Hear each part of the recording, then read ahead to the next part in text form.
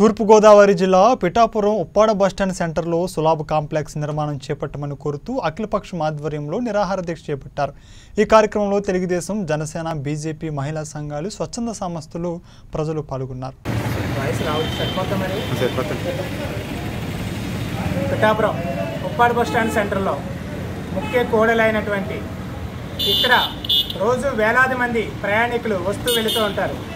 ముఖ్యంగా స్త్రీలైతే చెప్పనవసరం లేదు. ఎందుకంటే వారి అవసరాల నిమిత్తం వేరే గ్రామాల నుంచి ఈ పిఠాపురం ఈ సరౌండింగ్కి ఒక అరవై గ్రామాల నుంచి ఈ సెంటర్కి రావడం ఇక్కడ నుంచి వారి పనులు ముగించుకుని వారి ఇంటికి వెళ్ళడం జరుగుతూ ఉంటుంది.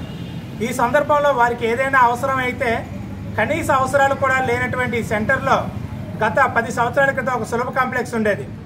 అంటే సామాజిక మరుగుదొడ్లు ప్రజలందరికీ ఉపయోగకరంగా ఉండేవి. దాన్ని అభివృద్ధి పేరుతో తొలగించి ఇప్పటి వరకు కూడా అధికారులు కానీ పాలకులు కానీ దృష్టి పెట్టకండే దాన్ని నిర్లక్ష్యం చేశారు.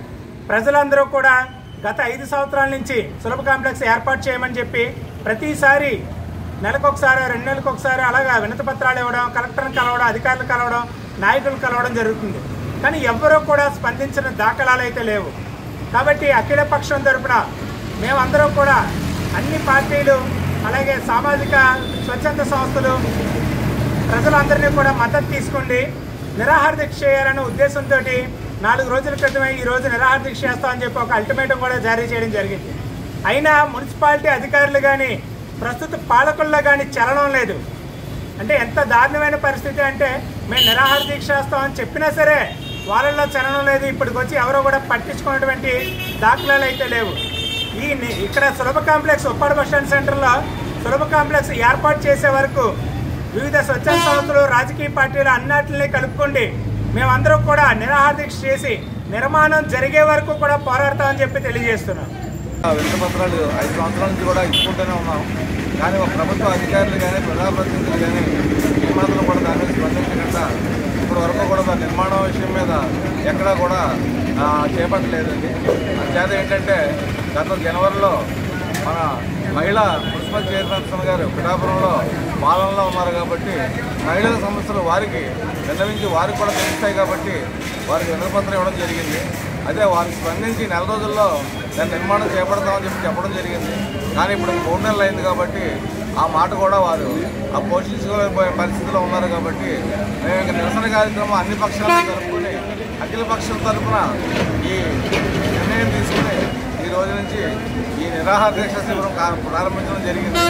ఇప్పటికే అధికారులు స్పందించకపోతే ఈ ఉద్యమం నిరసన దీక్ష కార్యక్రమాన్ని వివిధ రూపాల్లో కంటిన్యూ చేసుకుంటూ కూడా సులభ కాంప్లెక్స్ నిర్మాణం అయ్యేంత వరకు కూడా ఈ ఉద్యమం కొనసాగుతుందని చెప్పేసి అధికారులకి ప్రజాప్రతినిధులకి సందర్భంగా తెలియజేస్తాం సరుకులు అమ్ముకోవడానికి సరుకులు తీసుకెళ్ళడానికి వస్తూ ఉంటారు అనేక గ్రామాల నుంచి మరి చుట్టుపక్కల గ్రామాల నుంచి.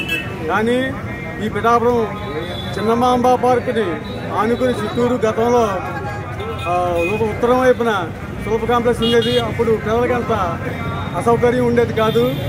ప్రస్తుతం అక్కడ ఉన్న గ్రంథాలయాన్ని తొలగించడంతో పాటు ఆ శిల్ప తొలగించారు. అప్పటి నుంచి కూడా ఈ ఏరియా మొత్తం అత్యంత జనసమూహం ఉండే ఏరియాలో సులభ కాంప్లెక్స్ లేదు.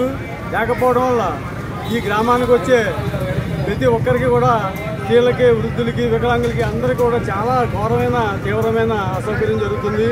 సులభ కాంప్లెక్స్ కట్టమని అనేక సార్లు మున్సిపల్ అధికారులని అనేక పార్టీల వారు అందరూ కూడా వేడుకున్నాం. అయినప్పటికీ కూడా ఈ రోజు వరకు కూడా సులభ కాంప్లెక్స్ నిర్మాణం చేపట్టలేదు. సులభ కాంప్లెక్స్ కడతామని చెప్పేసి చిన్నబామపరికి దక్షిణ వైపు ఉన్నటువంటి గోడని కూలగొట్టి కొంత ప్రదేశాన్ని ఆక్రమించి ఆ స్థలంలో సులభ కాంప్లెక్స్ కడతామని చెప్పారు. అయినప్పటికీ గత రెండు సంవత్సరాల నుంచి కూడా సులభ కాంప్లెక్స్ కార్యక్రమం చేపట్టలేదు జరగలేదు.